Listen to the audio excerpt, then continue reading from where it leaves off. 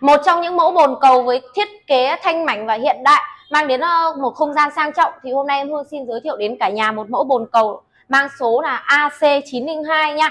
Vâng, như anh chị đang định nhìn thấy trên màn hình thì đây là một cái thiết kế mới của Inac nha. Với ờ, thân thì một khối này và với cái chiếc nắp ừ, kết nước thì nó sẽ là rất là mảnh nha. Mảnh nhất trong tất cả các kích thước kiểu dáng mới. Đây, với cái chiếc nắp này. Và cái nút nhấn thì nó sẽ là kiểu dáng mới nha anh chị em. Nút nhấn này thì nó cũng làm chất liệu mới này, bằng nhựa nha. Nó không phải là bằng lớp mạ bình thường. Anh chị em mình dễ dàng vệ sinh hơn rất là nhiều. Đi vào trong của cái thân bồn cầu này, nó có một cái mới hơn tất cả các cái dòng khác. Đó chính là anh chị em mình đang nhìn thấy đây là một cái thiết kế mới, là một cái vành kín nha.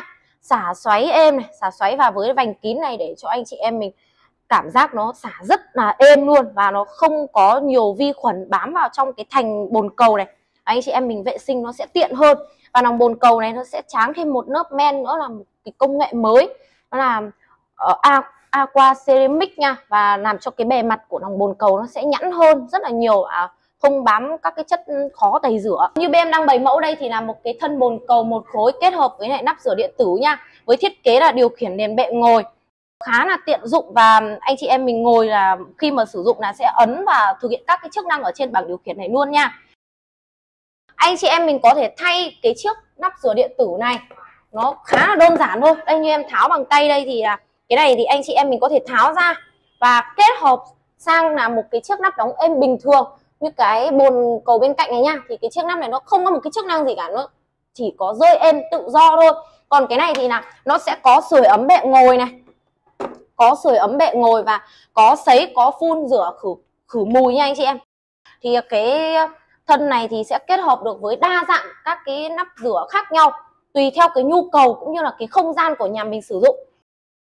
Thân nó sẽ là một khối này liền khối hết thì anh chị em mình cũng thấy là nó gọn hơn và vệ sinh nó tiện hơn nó không có nhiều ngóc ngách không bám bụi nhiều nha.